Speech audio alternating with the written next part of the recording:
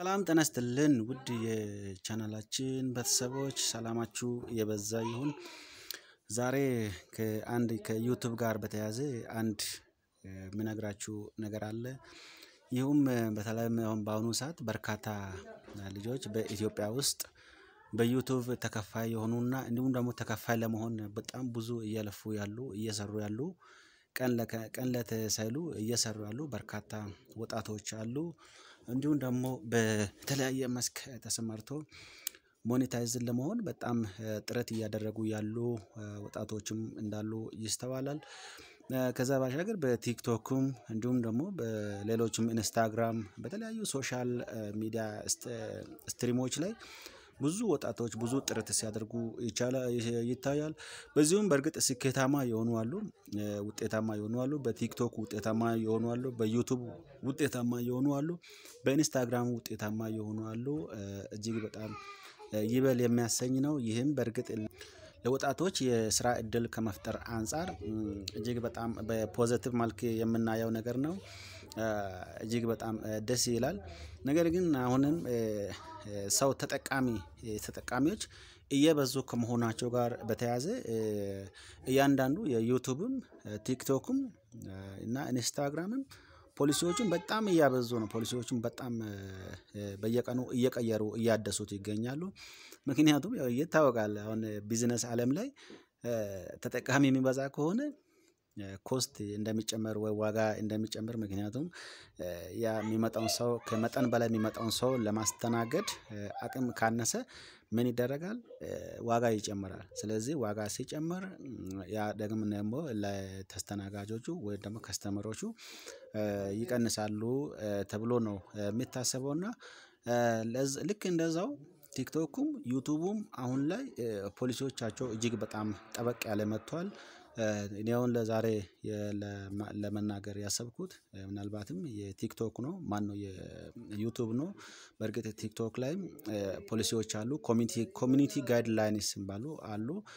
እንዴት ነው monetized መሆን የሚቻለው? ደግሞ በምን መልክ ነው የሚለው ያው እዛው ላይ እነሱም በየቀኑ ይሄን በዚህ ዙሪያ ላይ በርካታ ስራዎችን የሚሰሩ ሰዎች እንዳሉ ይታወቃል።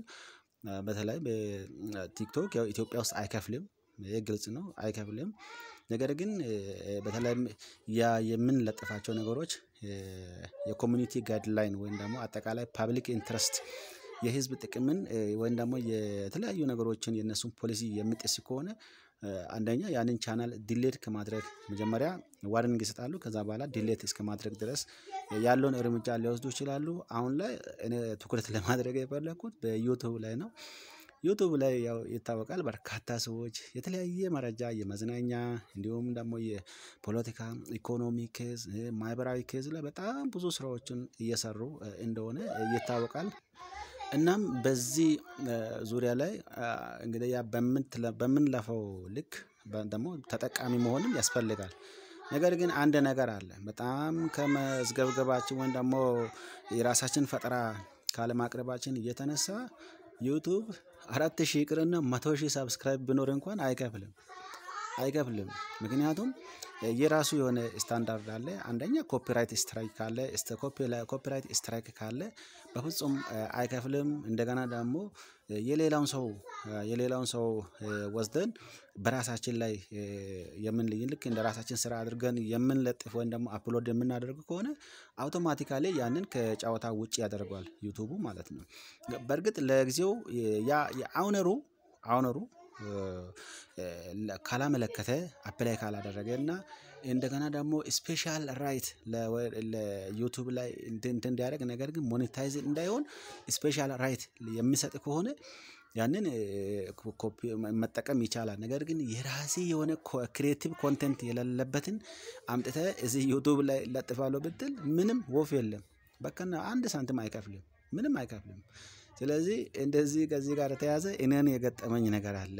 እኔም ከዚህ በፊት አንዳንድ ቪዲዮዎችን ከፌስቡክ እንዲሁም ደግሞ ከኢንስታግራም እና ከቲክቶክ አምጥቼ የለጠፍኳቸው ቪዲዮዎች copyright አይጠይቁም claim የለበትም። ነገር ግን ዩቱቡ አልከፍልም አለ። ምክንያቱም ሶስት ሺህ hour ሞልቶ አራት ሺህ ምናምን subscribe አለ። እንደምታዩት አራት ሺህ ወደ አራት ሺህ ወደ አምስት መቶ ምናምን ሊጠጋ ነው።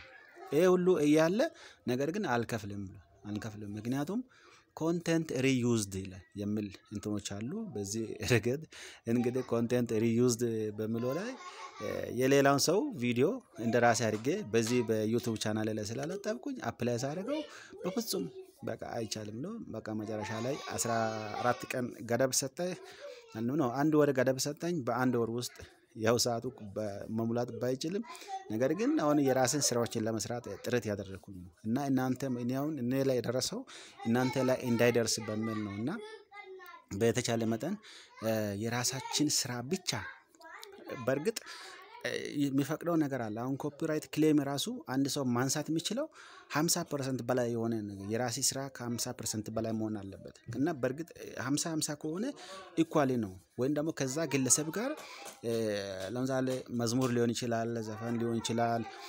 ሌላ ሌላ የተለያዩ ፕሮግራሞች ሊሆኑ ይችላሉ።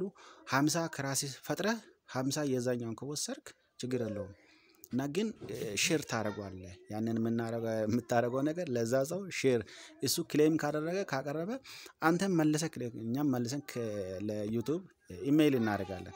ምክንያቱም ሃምሳ percent I have the rights on the videos ነው። የዚህ ከዛ ደግሞ ሃምሳ percent የዛ ሰው አለ። ስለዚህ ያ ቪዲዮ ለምሳሌ አንድ ሚሊዮን እይታ ካገኘ በአንድ ሚሊዮኑ ምን ያህል ብር ነው ምናምን የሚለውን በዛው እይታው በጨመረ ቁጥር ከዛ ሰው ጋር በ share ለመውሰድ ይቻላል። ካልሆነ ደግሞ ሃምሳ percent በላይ fifty plus one የራሴ ስራ ካለ የራሳችን ስራ ከታከለበት ያ owner ኡ copyright copyright claim ማንሳት አይችልም። ስለዚህ ምንድነው? እዚህ ጋር content ከየትኛውም ማህበራዊ ሚዲያ ከፌስቡክ ከዩቱብ ከኢንስታግራም ከተለያየ መረጃ ምንጮች ያገኘናቸውን ዝም ብለን እንደ ራሳችን አድርጋችን አድርገን አንለጥፍ እኔ እንደዛ ወስኛለሁ። ስለ እኔ አሁን እንደዛ አድርጌ እንደገና ሀ ብዬ ከአንድ ሺህ ምናምን hour አሁን ደግሞ ገና እንደገና እየገሰገስኩኝ ነው። እና አሁን ላይ የራሴን ስራ እየሰራሁ ነኝ። አሁን በእኔ ስራ ላይ አሁንም የቀሩ ነገሮች ካሉ ምን ያደርጋል ጊዜ ይሰጣል። delete እንድናደርግ በተለይም delete አድርጉ ዋናው እዚህ ጋር መታየት ያለበት content reused የሆኑ ነገሮች ካሉ delete አድርጉ። delete አድርጉ በተለይ ከዩቱባችሁ አስወግዱ። የራሳችሁ ያልሆነ ስራ ከዩቱባችሁ አስወግዱ። የእናንተ ድምጽ ያልገባበት የእናንተ በርግጥ አሁን ይሄ ማለት reaction video by the way አያካትትም። reaction የሚሰሩ ቪዲዮዎች አያካትትም። ምክንያቱም reaction ላይ እኔም react እያደረኩ ነው። ያኛው የምናገረው በሱ ላይ react ተመስርቼ reaction video በሚሰራበት ሰዓት በምንሰራበት ሰዓት ላይ copyright ም ምንም content reused ም አይጠይቅም። ምክንያቱም የኔ ተሳትፎ አለበት የዛ ሰው ተሳትፎ አለበት ያ ተሳትፎ ከሌለ participation ከሌለ ዩቱቡ content reused ይልና ለምን መቶ ሺህ አንድ ሚሊዮን subscriber ቢኖር እንኳን ያንን ገንዘብ አይከፍልላቸውም። ነገር ግን የራሳችን ስራ ጥርት ያለች ነገር by the way በጣም ብዙ ጊዜ ሊወስድባችሁ ይችላል። አንድ ሶስት ሺህ hour ቀላል አይደለም ሶስት ሺህ hour ለማግኘት live መግባት አለብን። እንዲሁም ደግሞ ቪዲዮዎችን አጠር ባለ መልክ ከአስር ደቂቃ በታች ያሉ ቪዲዮዎችን መልቀቅ አለብን። ከአምስት አምስት እና አስር እስከ እዛ ድረስ ያለውን ሰው ቶሎ ቶሎ የሚያይበትን ስን ሳቢ በሚስብ መልክ ማቅረብ አለብን። ሌላው ደግሞ competitive መሆን አለብን ሌሎቹ ጋር በጣም ብዙ አድርጎ በጥሩ ሁኔታ የሚያቀርቡ ስላሉ ከእነሱ ጋርም compete አድርገህ ጥሩ የሆነ በተመልካች አይን ሊገባ የሚችል ነገር መስራት ይጠበቅብናል። ስለዚህ content reused የሚለውን እኔንም ጭምር በጣም ስላስለፋኝ ዋጋ ስላስከፈለኝ እናንተም በተደጋጋሚ እንዳትከፍሉ ነገር ግን ተስፋ አትቁረጡ። አሁንም እኔ ተስፋ ባለመቁረጥ እየሰራሁ እገኛለሁ። እና በተቻለ መጠን የሰውን ቪዲዮ እንደራስ አድርገህ መለጠፍ በፍጹም ትክክል አይደለም። ይህ ከእኛ አእምሮ ሊወገድ ይገባል ያ ማለት በዩቱብ ላይ ተከፋይ እንዲሆን ከተፈለገ የራሳችን creation መጨመር አለበት የራሳችን ፈጠራ መጨመር አለበት። ያ ካልሆነ በቃ ምንም ሁል ጊዜ ኢሜል ያደርጉልኛል You have to focus on your own creation። ዩቱብ ብዙ ጊዜ ኢሜል ያደርጉልኛል ስለዚህ የራሴ ስራ ላይ ማተኮር አለብህ። ከዛ ውጪ የሰውን አምጥተህ በራሴ ላይ መለጠፍ በፍጹም ትክክል አይደለም ተገቢም አይደለም። የምለውን እነሱም aware ያደረጉ ነውና እኛም ደግሞ ልንጠነቀቅ ይገባል። በአጠቃላይ በዚህ ዙሪያ ላይ ሌሎች መረጃዎችም ስላሉ በቀጣይ ቪዲዮ እመለሳለሁ። ለአሁኑ እኔም ከዚህ በፊት የጫንኳቸው ቪዲዮዎች አሉ እነሱን ገብታችሁ like አድርጋችሁ subscribe ያላደረጋችሁም ደግሞ subscribe እንድታደርጉ በአክብሮት ጠይቃለሁ። መልካም ቀን፣ መልካም ቆይታ